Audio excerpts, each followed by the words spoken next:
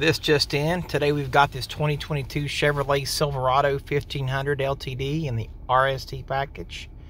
This one is the satin steel metallic with the black interior. RSTs have front and rear body color bumpers with fog lamps below. This one's also equipped with the 18 inch wheels with the wheel locks on there. Your 6 inch running boards on there as well as your rear wheelhouse liners.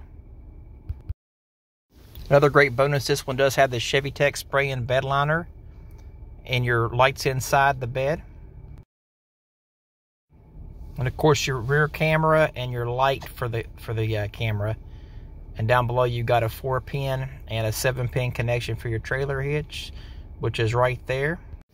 Conventional towing on this model is 9,500 pounds when properly equipped. Forgot to uh, hit unlock on the remote. How that works, you hit unlock once to unlock driver door, unlock twice to unlock all four doors. To remote start, you push lock, press and hold the start for two seconds. It'll run for 15 minutes. This button, double click it, it'll lower the tailgate. Voila. Inside the Silverado, you've got a lot of room in this crew cab, extra cubby holes to store stuff in. You have a jack and your tool to lower the tire down below here. And as well, you do have this extra cup holder that I'm struggling with right now. A move. Okay, there you go. Rock and roll. Another great feature, you got your extra charging ports and vents in the back. Super nice. We'll go up to the front passenger side. Just going to show you this feature. This has a retrofit on it. You can see there's blanks where the heated seats would go. These will have heated seats when the microchips become available later this year. Cool thing about these LT models, if you get this 40, 20, 40 seat, you do have storage below that you can lock. And that key is actually located in the remote. Extra storage is great.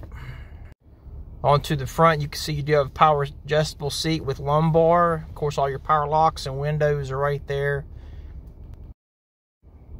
Of course, you have your tow haul mode and your transfer case, two wheel high, automatic, uh, and four wheel high.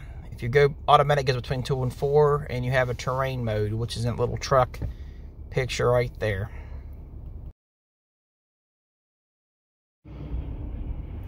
Great thing, this one does have the heated seat microchips in it. Does have cruise control on the steering wheel, as well as your volume controls behind it and your channel controls. This is your what was called the driver information center.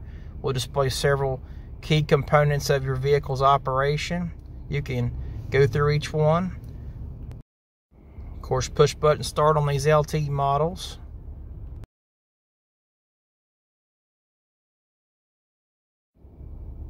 And down here, you do have the auto stop off button. Remember, anything orange on a Chevy is on your tailgate, your hazard lights, of course, StabiliTrak and traction control off button, and your window operation. Check this out. Push the button, all the windows will roll down. Pretty good if it's a hot day, not like today. Having that driver and passenger climate control is always nice. No arguments. Of course, 8 inch touchscreen several different features on this vehicle. It does have Android Auto and Apple CarPlay is standard on this model. Just going to swipe over. That's going to show you there's a camera icon. Any of these icons can be moved around. There's a good view of the tailgate down.